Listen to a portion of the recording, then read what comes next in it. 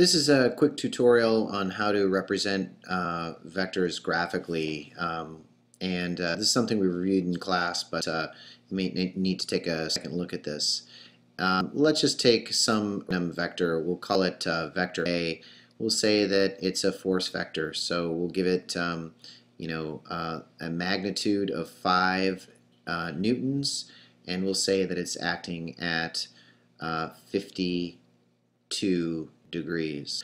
First thing we want to do is recognize the different parts of a vector. I've used this little uh, hat notation to denote that it's a vector, therefore it has both a magnitude, which is this here, so we'll call that the magnitude.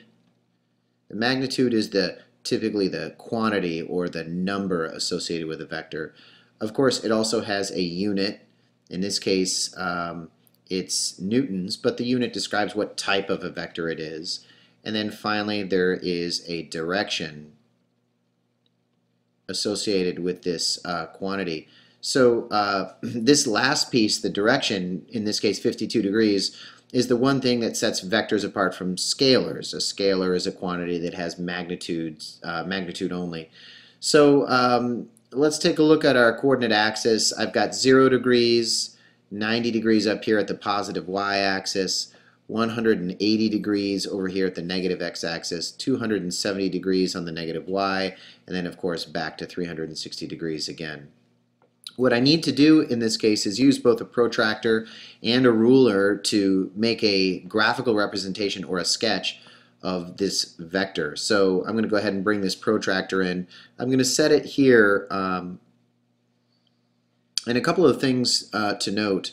First that uh, if you take a look here at the 90 degree mark, that 90 degree mark should be on the positive y-axis and likewise 0 degrees over here should be on the positive x and uh, 180 degrees over here should be on the negative x. That are those marks are there basically just to line up the protractor properly. What I'm going to do next is uh, kind of just make a mark for starters at 52 degrees. So if you take a look at here, this is an acute angle, 0, 10, 20, 30, 40, 50, and I'm just going to make a mark right here at roughly this spot right here, so that's going to be 52 degrees. And so now I know where from the origin 52 degrees is. Oops, didn't want to move the axis there. I did want to move this. All right, so there we go.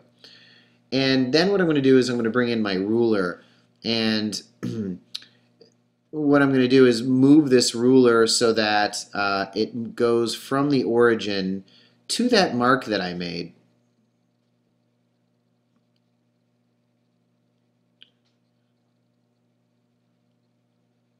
And I'm getting there somewhere right around here. That looks pretty good. And uh, the ruler is there to help me define a scale. Now, I should have done this right at the beginning of the problem, but let's go ahead and set up a scale. I'll do it over here in the second quadrant where I have some free workspace. I'm going to say that 1 Newton is equal to 1 centimeter.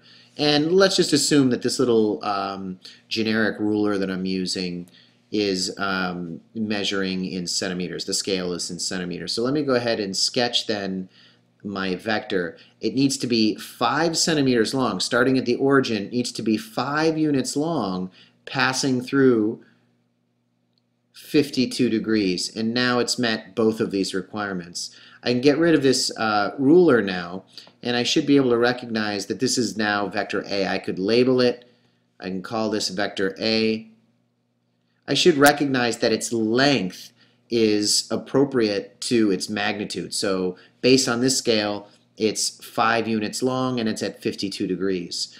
Now, um, why don't, uh, while we're at it, and I guess more quickly, let's go ahead and add a second vector. I'm going to call it uh, vector B, and I'm going to say that vector B is also a force vector. We'll say that it's 3.2 newtons at 210 degrees. Why don't you think about which quadrant that would be in? Okay, so this is the first quadrant. Here's our second quadrant over here.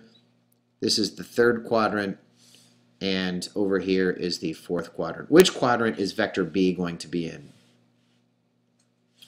Okay, uh, hopefully you've answered uh, the third quadrant. Once again, when I set up my protractor here, I should recognize that 0 is the positive x, 90 is the positive y, 180 is the negative x, and I'm beyond 180, uh, which means I'm going to basically have to turn my protractor around in order to use it properly for this problem.